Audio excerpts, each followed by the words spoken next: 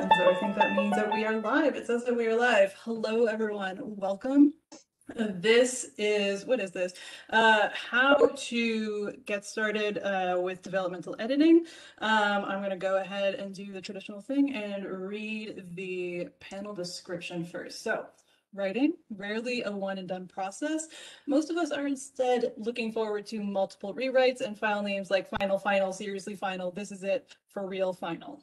Dot doc. How do writers and editors navigate this process? How do you translate feedback to the page? What do you do with criticism that misses its mark? And how do you know when you're really done? This panel of writers and editors will discuss tools and strategies for breaking a narrative down and building it back up, all while maintaining the integrity of the story you wanted to write in the first place. So, I'm Nino Cipri. I'm the mod for tonight. Uh, we're going to go through introductions first. Um, Kate, would you mind starting us off? Sure, I'm Kate Maruyama, and I'm a writer, um, and also I teach novel classes and I do developmental editing for hire. So I have a lot of thoughts on the matter, and um, that's it. Thank you. Uh, Mike, would you go next?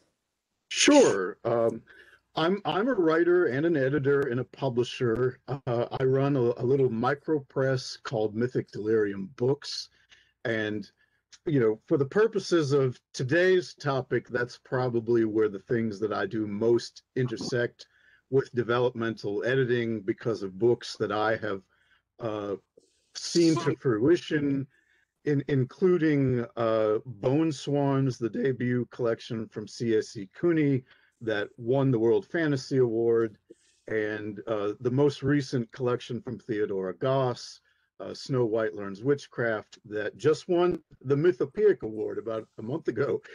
so yay! Uh, and uh, the the only uh, the only big novel that we've put out so far, Latchkey by Nicole Kornher-Stace, which was uh, a best of the year selection by Kirkus Reviews.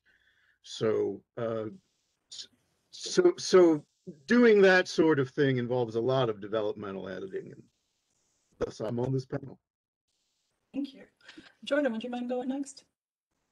Sure. Hi, everyone. I'm Jordan Ifueko. My pronouns are she, her, and I'm author of the best selling Raybearer novel. Its sequel, Redemptor, is coming out this August.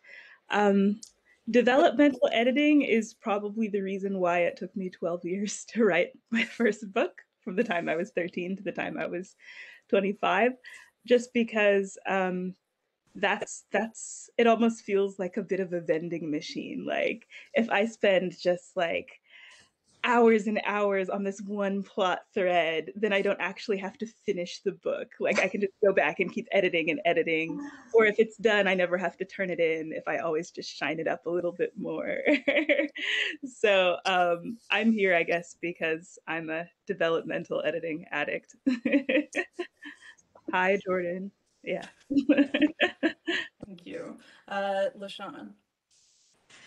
Hi, everyone. My name is LaShawn M. Wanak. Uh, I am also a writer.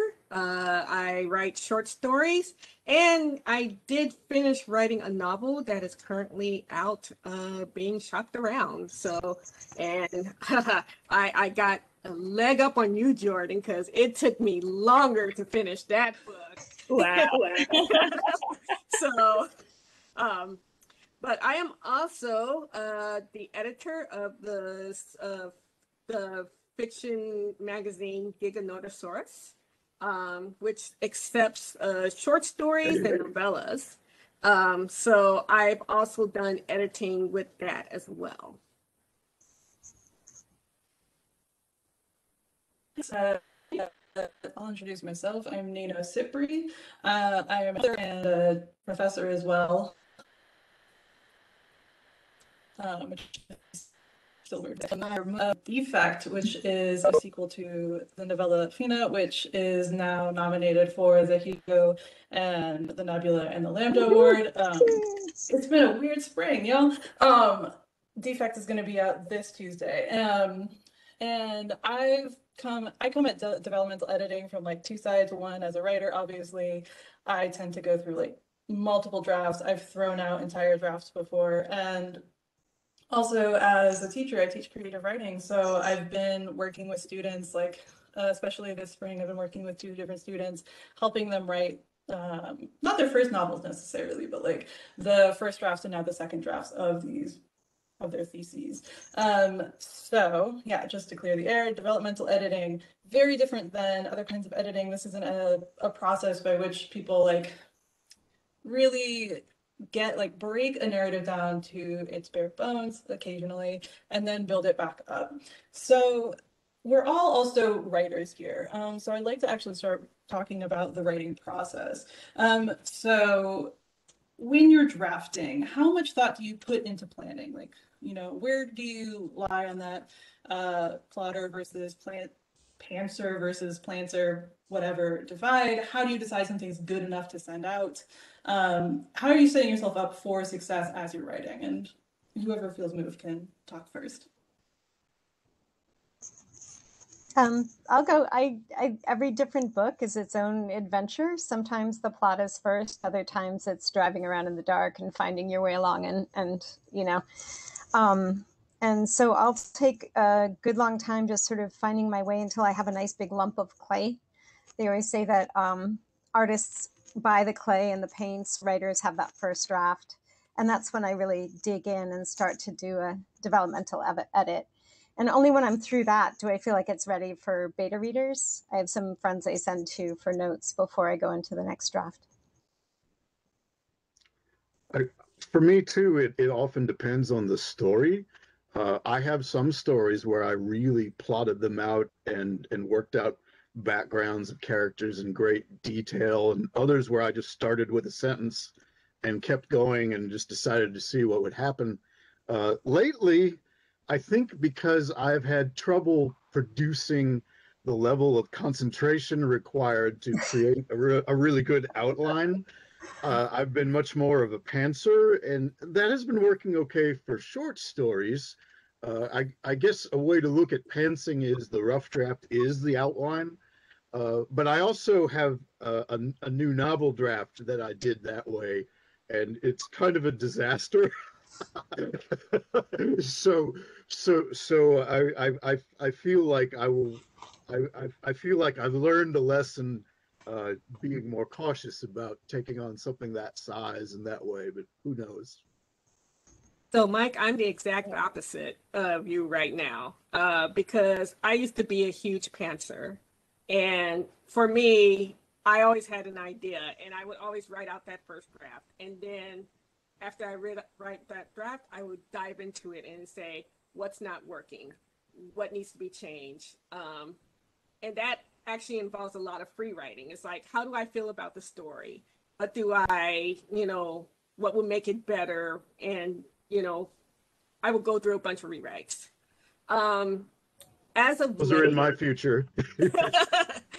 um, as of late, I've been learning to write from an outline um, and that has been an interesting process because it's like it, it's creating the world before you actually sit down and write the story. And that's something that I've been doing within the past couple of years. And for me, it's like, okay, I want to write the story and I actually try to, but then it's like, oh, but how do I know about this? And so I actually have to go back and say, well, what about this part of the story and this part of the story, this part? And it's it's it's interesting.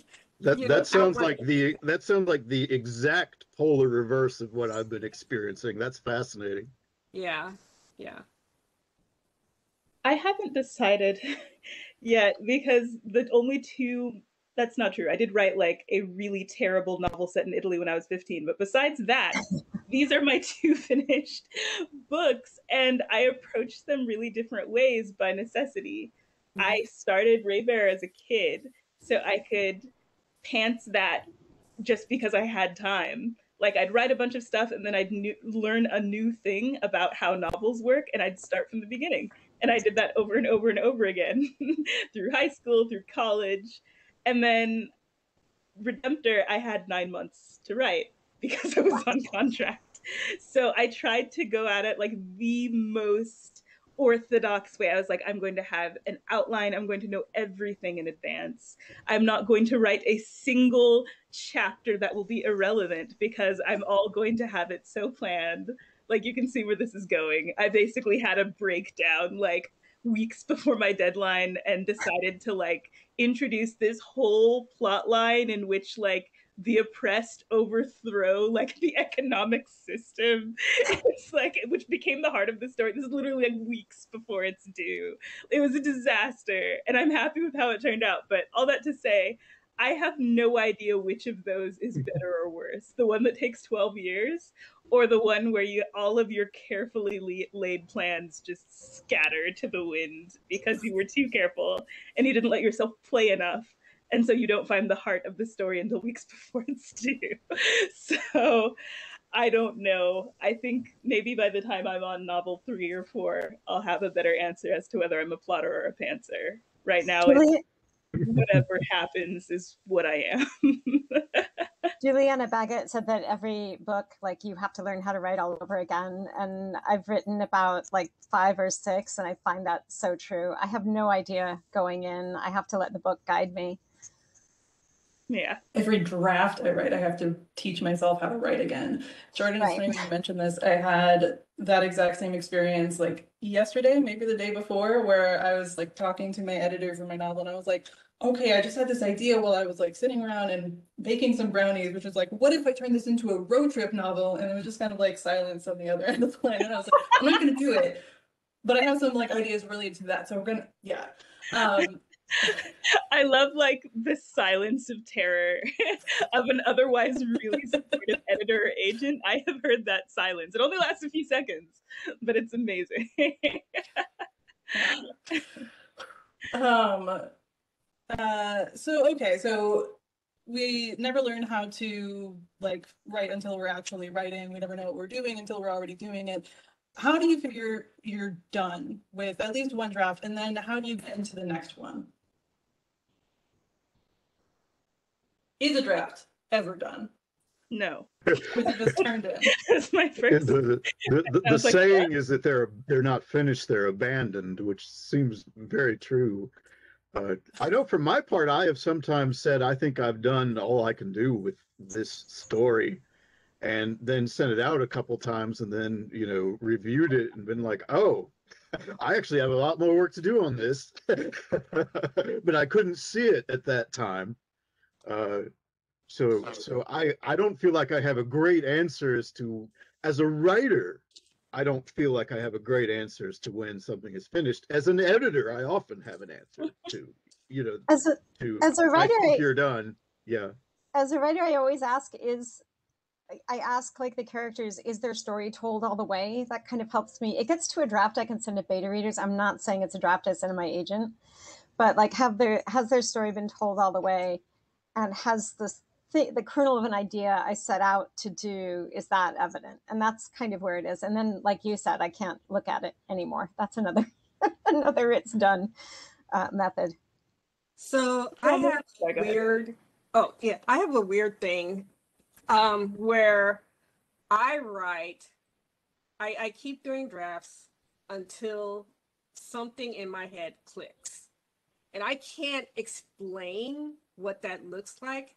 But there's a point where I'm, you know, turning around and stuff that I go through a revision, and suddenly something hits me where it's like, this is it. This is what the story is about. And once I hit that click, I know that at that point, I found the story. All I need to do now is just tie up loose ends and then either send it out to beta readers or send it out. And that's actually when I know that it's ready to actually go out. And it may take a while um, for that click to happen. But when it does, it's like, it's magic. so, and it, I use each time I actually start a new story, I actually worry because it's like I'm writing all these drafts. It's like ah, I'm not gonna get it. It's just gonna go away. But then, if you just keep at it, suddenly something hits, and yeah, so it comes. It just takes a while. I wish that it was more of a like objective literary standard where it's like I know this is done because it's hit this point and this point and this point. I have learned over the past few years it's entirely psychological. Like now that I have a new like new works in progress, the Raybearer books, like while I was in them, while I was writing the sequel, while I was polishing up the first one, there were just there was an endless list of stuff that I wanted to do. It's like I could develop this area, I could stay in this district of this city for a while and just figure out how their economic system works and how that implies like how that affects the people that live there. Um, but and so it was really hard actually releasing any of these drafts but the moment I fell in love with another world and another story, those books were fine all of a sudden. I was like, yeah, sure. All of those those like, you know, it's it's not I didn't really leave any loose ends that I'm that upset about, you know. Um and I think I think that's really what it is for the most part. It sounds kind of callous, but and maybe this isn't for all writers, but for me it's definitely like the moment there's another like shiny new project to fall in love with it's not that I fall out of love with this one. It's that I all of a sudden I'm content with it being what it is. Um, so I think that's it for me, honestly. I'm I'm with um, LaShawn. I have those like epiphanies. This book is entirely about this, but they change. So I'll I'll be like, this book is totally about injustice, you know, and then I'll write to that. And then I'll be like, this book is totally about love. And then I'll write to that. And like the answer is good enough for the time to get me through a rewrite it's to make it more cohesive, but it doesn't always stick around until the end.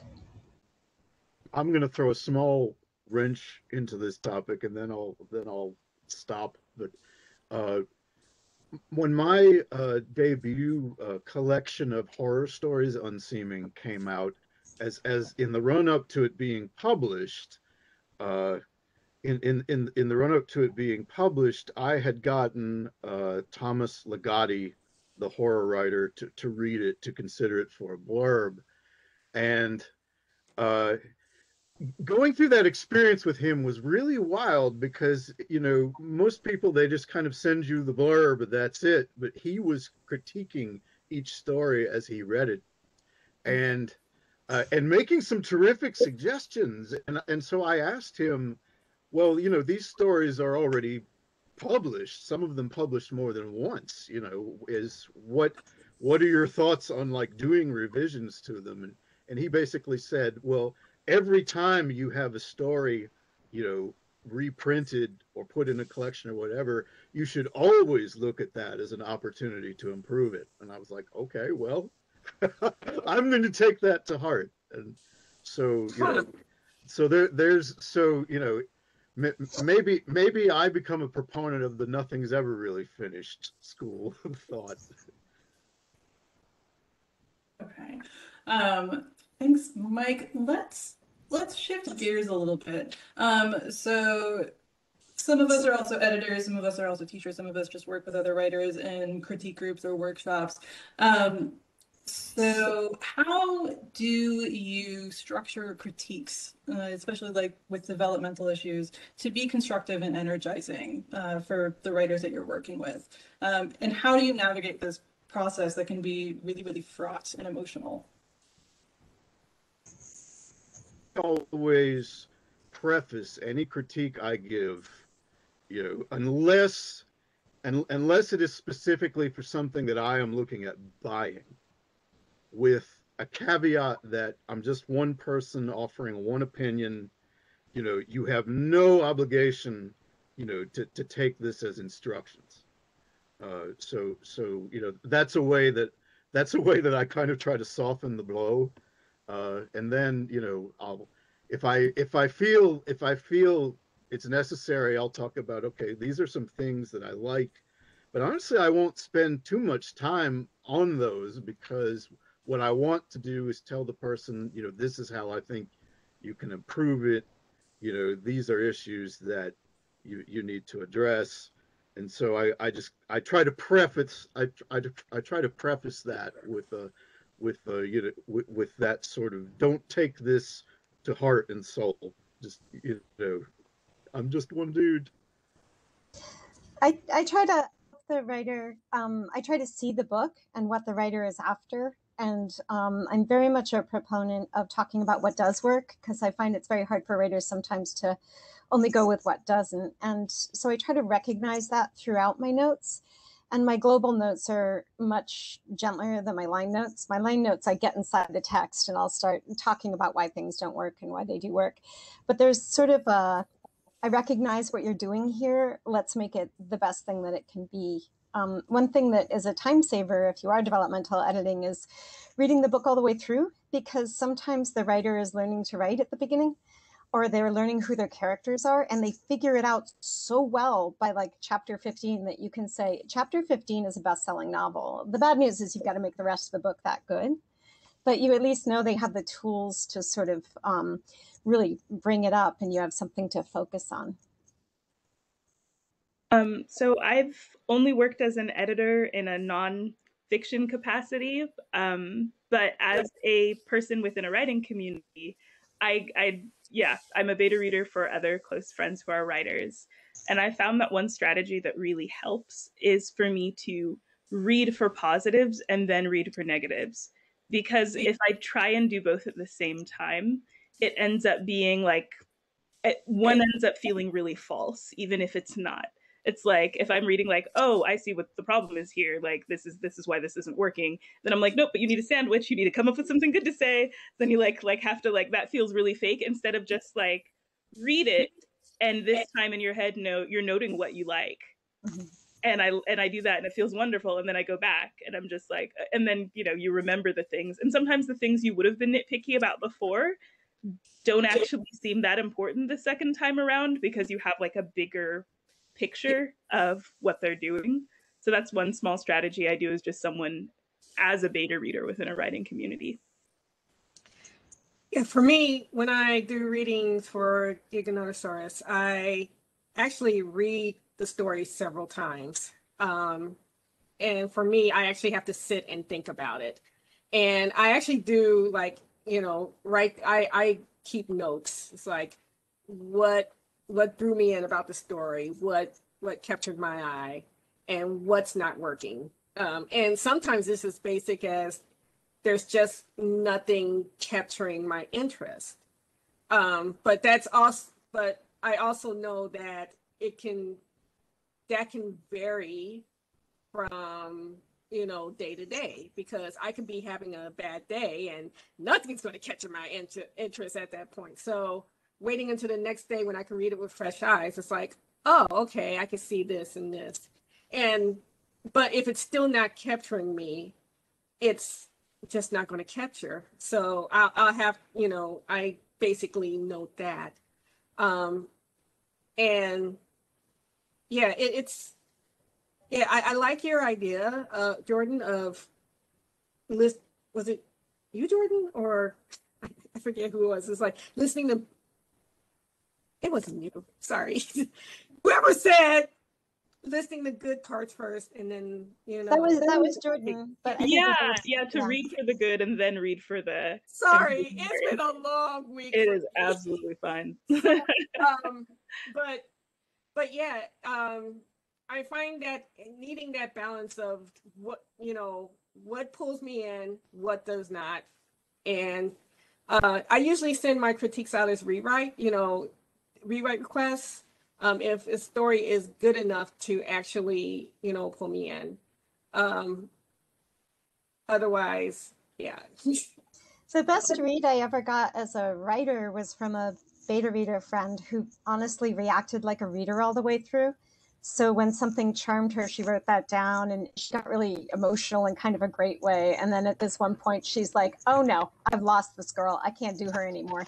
You know, those kind of like raw reader reactions were super useful to me. And I use it a little bit when I read through for other people. This is this is not like actually a serious piece of advice, but if you, someone sends you something in Google Docs, you can add like GIFs in the comments. and I think that's something everyone should do more because you can sum up how something makes you so easily. And I love it when my friends do that. So absolutely nothing else away from the that. panel. It's that you can leave gifts in the margins I am going to do that from now on. That's awesome. Deeply same.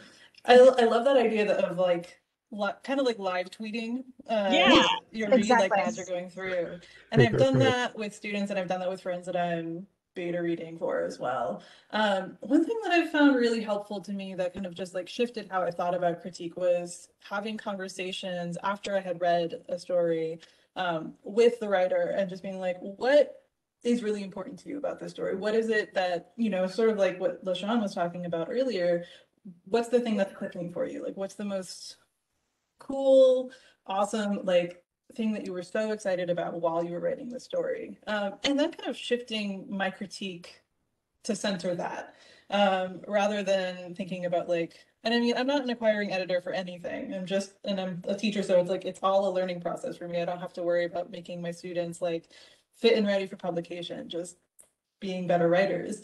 Um, but yeah, like getting to the heart of what their story is in their own words and then like helping them come up with ways to just kind of like do that the whole time, basically. That's a good Um, question ahead of time. Yeah. And it's it Yeah. really shifted like it shifted me away from like wanting to fix things to just being like actually what what could this be and what do you want this to be? So Mike and LaShawn, you both started talking a little bit about like as you know your roles at edit as editors at um, Giganotosaurus and Mythic Delirium. Um, so how often, and this goes for anybody else, like how often do you acquire stories that need deep edits? Um, and what are the things that will still make you choose a story, even if it really does need a lot of development? I've I've actually done that quite frequently. Uh, you know, I've even, um, you know, I I have I have latched on to stories that I have thought, okay, there's there's a germ of something really amazing here, but n- not it it it doesn't fully flower in its in its current form. And I've worked, I've I've worked with the author and I've had stories like that end up picked for best of the year volumes and things like that. And uh, it's hard for me to quantify what makes that happen. I mean, it's it's there. It, it's you know, I I have even had uh, I I have even had instances where I have rejected a story like this. This happened a couple times back when I was editing the Clockwork Phoenix anthologies, and and yet it would still stay stuck in my head and i would end up going back to that author and saying hey is this still available? And they'd be like yes? Why? And i'd be like let's can we talk about this story? And and uh and you know i would i would explain you know when, whenever that happened i'd end up explaining okay this is these are the things that i would like to see in it if you're interested in doing that. And it's inevitably resulted in you know me publishing the story. But uh yeah i mean there, there's a subjectivity to to purchasing poems and stories and and, and novels uh i can't always i can't always quantify why something digs a hook in that i can't pull out but it definitely happens you know even with stuff that sometimes needs work uh, I can, I'll, I can cite, I'll cite one specific example. Uh, I won't mention the author, but in, in my most recent anthology that Mythic Delirium put out, A Sinister Quartet, there was a, a novella that I read, and for maybe the first, it's it's kind of similar to what I believe, uh, I believe Kate might have described something like this, where where for the first two thirds or so, I, was kind of thinking, you know, this really, this this this really is not together. And then something happened, and like the final third was amazing. and so I I went to this author and said, look, you know, you from from this point on, I I absolutely love it. We just we need to make the rest of it match. Uh, and and and it ended up working out very well. But, uh, I don't know how helpful that is to anyone, but I, I know that's how the process works for me. Um, yeah, I, so with me, I, um, usually there's stories that I would go through and there's something about it. And, and like you said, Mike, it's subjective. I don't know what it is, but there is something that grabs me, and it'll be like, oh, this story is wandering all over the place. Hello, what's this? You know, and it, it, it you know, it will pull me in, and it's like, okay, this part over here is kind of sloppy, and this is sloppy, but there's this idea, like right here, that's like really fascinating, and I wish they would expand on that and just get rid of the other, you know, stuff. And it usually takes me a while to actually formulate what exactly I want to, you know, I want to see. Um, and once I, you know, it takes me a while to figure it out. And once I do, that's when I actually sit down and, you know, get back to the writers like, okay, I, I like this, but this is, and I usually don't do, do this in the draft itself. I usually do it when I'm, you know, replying back to the writer. Um, it's like, here's where this is, here's where I got lost, and here's where I couldn't understand. But you have this thing that is amazing, and I want to see that wound more in your previous stories. So please do a rewrite and then send it back to me. I can't guarantee that I will take it, but you know, at the very least, I hope it improves the story. And usually, and for the ones that I, I don't do it as often, um, because usually my time's a lot more, you know, a lot more limited. Uh, but the stories that really grab me in that way, nine times out of ten, they actually do get back to me with rewrites, and I read it and I go like, oh, "This is great! I will publish it," and, and I do. That's a great feeling. It really is. Okay, so let's come back around to talking talking about ourselves as writers.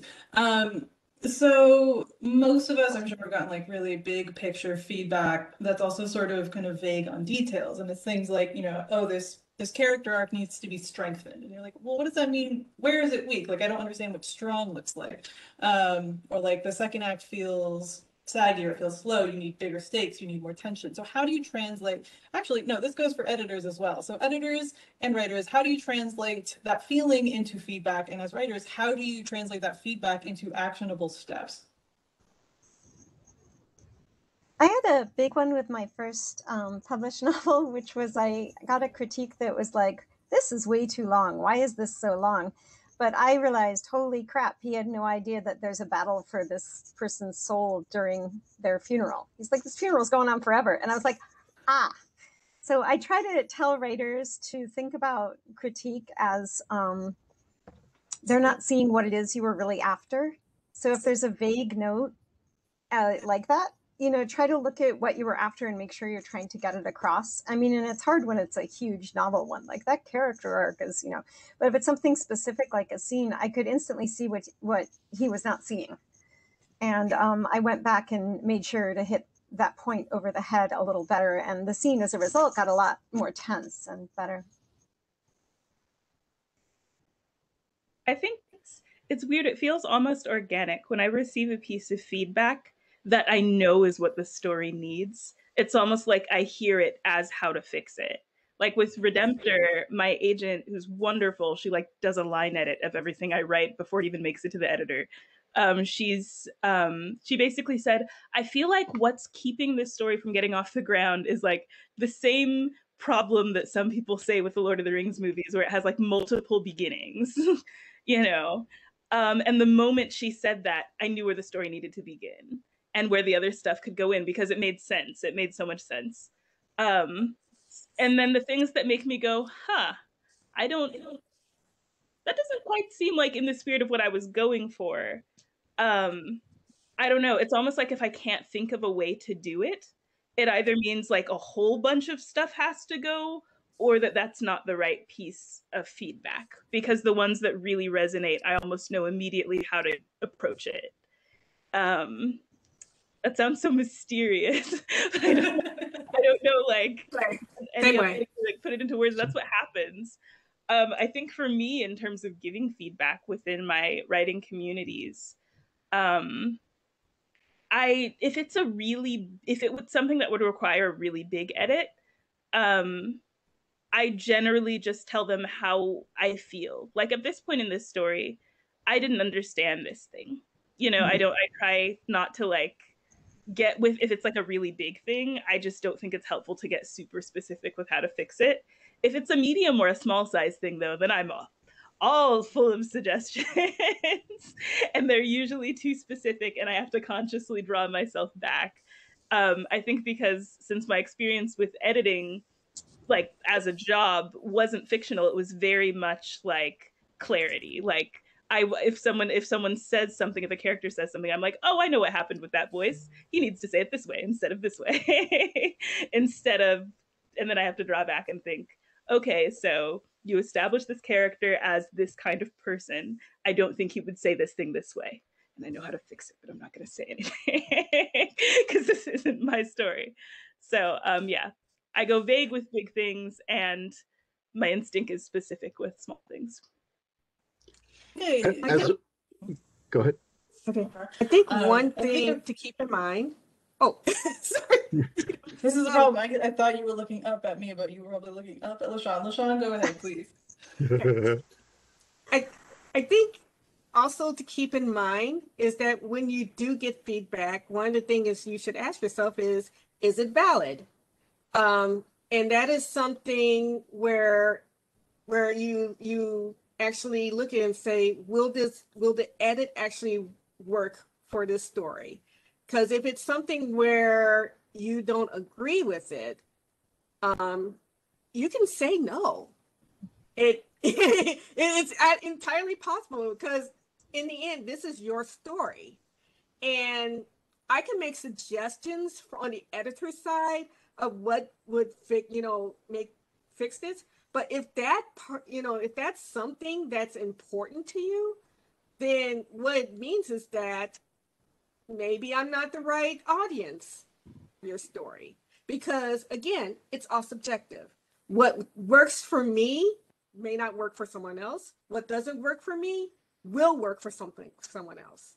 So that's something to take into account when you're looking at, you know, when you're looking at the edits and, you know, and sometimes, you know, you can, you know, push back uh, to against, you know, your editor. It's like, and if you explain the reasons why, then the editor can then work with you. It's like, okay, I see where you're going. Let's work on making this a bit clearer. And that's when the editorial magic comes through. So that conversation is so important and also um, get when you get those notes sort of listening to the story before even yourself or the editor like listen to the book and what it's telling you or the story what it's supposed to be because sometimes you haven't done it all the way. I, I, I had two things to share and after LaShawn just talked I have three things. I'll try and make it all very quick. Uh, you know, earlier I kind of patted myself on the head about having helped some stories along you know, all the way to like year's bests.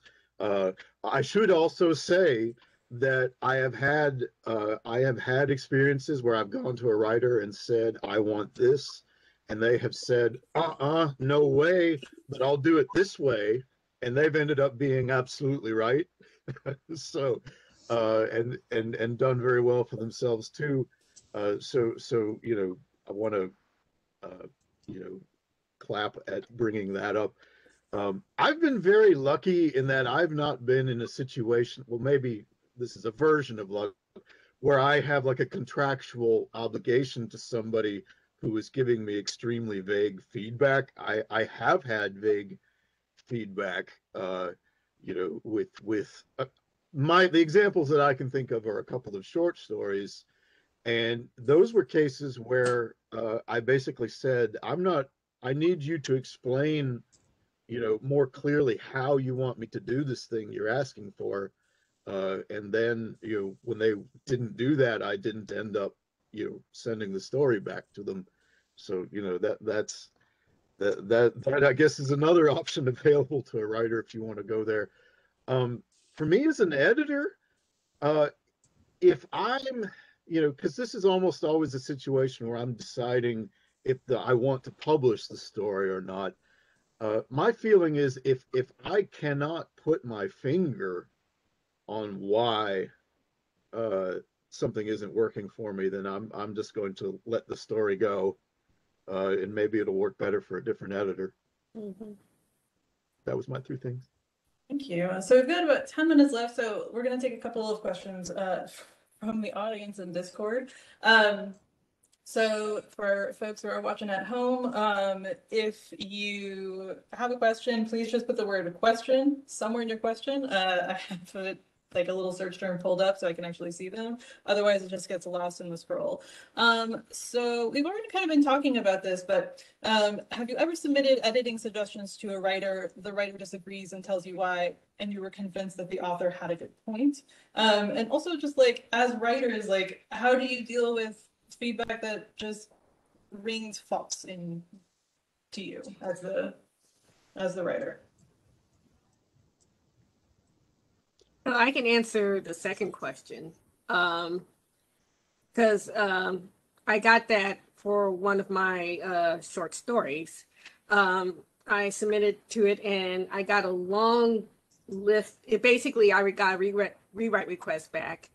Um, but it was just a long list of things, which some of it some of it was really good feedback, but some of it was like changing a lot of the parts of the story to the point where I didn't recognize my own story anymore. And I actually had to sit and think about it and come to a decision on whether or not I would actually.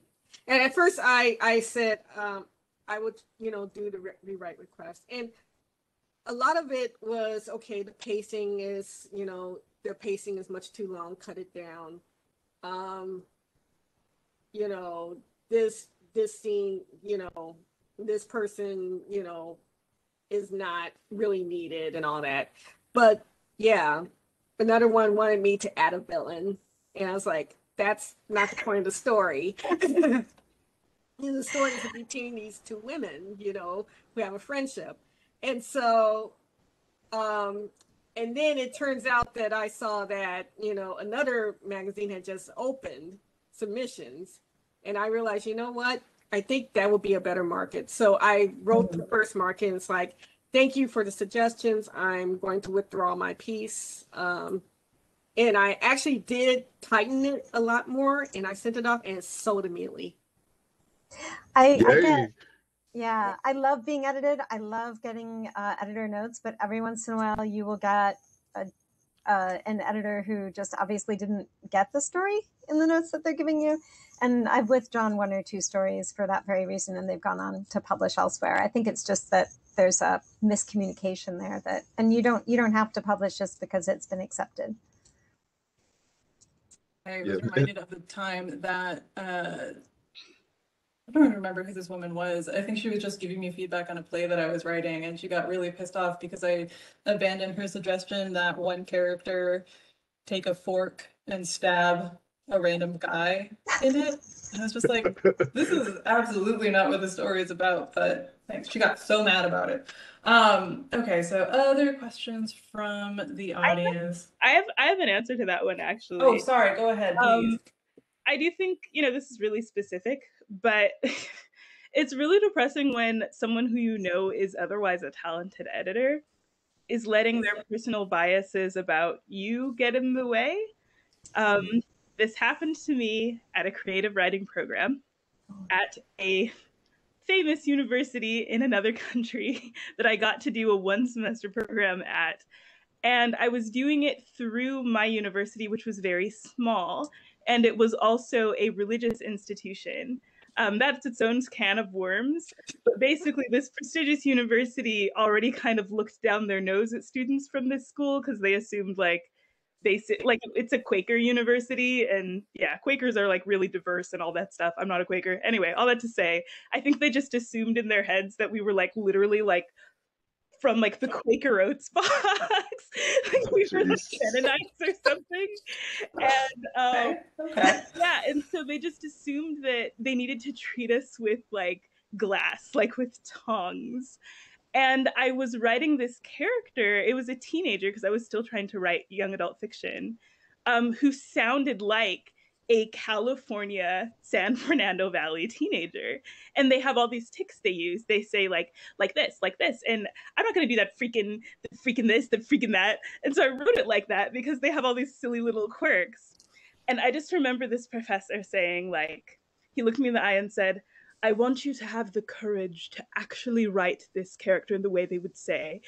You know, like you you seem to have a problem with with, you know, the F word. And I'm just like, no, I'm not I'm not that's what Los Angeles teenagers sound like. And he literally said, like, are you sure this is the way they would sound? Or is this the way you want this story to be read when your parents read it? it was the most dripping condescending. Like, I was wow. like, I didn't even know where to begin. I was like, you have never been to California for one thing. And just like, yeah. And from there on out, I just kind of phoned it in with that tutor. I was just like, you have so, you have so many issues. Bias yourself. Um, but yeah, that's, that can be really frustrating. And when you have things like that, it's really hard to see like, what is valid criticism because i had to be there all semester right? So like i, I was determined to get something out of this. And so it's just it's i think it's it's basically trying to like salvage what you have. Luckily a lot i think a lot of us now are in situations where we, we aren't like locked into something. So like you guys said if the editor isn't connecting you can just leave. But when you can't for whatever right. um it's just taking a step back and realizing like any objective set of eyes, even if it was the set of eyes of, you know, a three headed monster, is going to see something that you don't. And so you have to like at least at least filter it instead of just like blocking all of it out. Um so excellent, excellent advice. We are about three minutes away from the end of this panel. I'm so sorry to everybody who has been putting in questions. Um, panelists, if you want to hang out in the Discord after this, yeah, yeah we can hang out after. Yeah, right? yeah, yeah, yeah. Um, so don't worry, we will we will continue talking there. Um, but in the last two minutes, real quick, um, uh, let's do really quick outros if you have any parting advice, parting thoughts, and also where can people find you and find your projects if you're going to be doing anything else here at Flights Foundry. Um, Jordan, would you actually mind starting? Um, I'm not going to be doing anything else at Flights Foundry. I'm pretty sure. I'm pretty sure I should check the calendar, make sure I didn't sign up for anything I forgot. But um, yeah, you can find me on Instagram. I'm technically on Twitter, but I'm never logged in because Twitter is bad for everyone's mental health. And um, yeah, my books are available in ebook, physical, and audiobook. Um, the Raybearer audiobook was a finalist for the Audie Award. It's really good. I encourage people to get that from their libraries or indie bookstore. Um, and yeah, I think that's it for me. Thank you. Uh, Kate, would you go next? Um, yeah, I actually want to leave you with a quote from my favorite mentor, uh, Robert Barish, who said, If you show up and listen and work hard enough, your book or story will make itself apparent to you. Um, you can um, find out more about me, including a recent novella that came out on katemoriyama.com. And there's also info there for uh, developmental editing and classes. Thank you. LaShawn? Ah, yes. I actually will be doing some more panels tomorrow. Well, I, I have another panel tomorrow. Um, uh, basically the writing process as a whole. I also have a reading and a coffee clutch. My very first coffee clutch. So you can find me on Twitter at T-Bone Jenkins. Uh, I actually do a lot of my fiction ranting there. Um, and uh, I'm also on Facebook, but just follow me on Twitter. It's easier. So, yeah. Thank you, Mike. Well, uh, I am on another panel on a similar topic in four hours, uh, and and I have I have a reading uh, on late Saturday or early Sunday, depending on what time zone you're in. Uh, and I'm also a dealer at Flights of Foundry. Uh, you know, I'm I'm offer so you know I'm I'm one of the people with the red designations in the in in the sidebar on Discord, and and I will be around in some form just about all weekend. Uh, anything if you can remember the words mythic delirium and any search any search anywhere that you do using those words will lead to me. And and uh you know i'm i'm i'm vending for for mythic delirium books here you know some that i've published myself some that you know some that i've published from others. And i'm offering i'm offering like discount deals like i haven't offered since the last time i did a, a kickstarter. So i hope that will make uh people curious enough to take a look at what they are Okay, we are actually officially out of time. Thank you all so much. Thank you, Thank you, everybody Nito. tuned in, and I guess that's it. Signing off. Bye.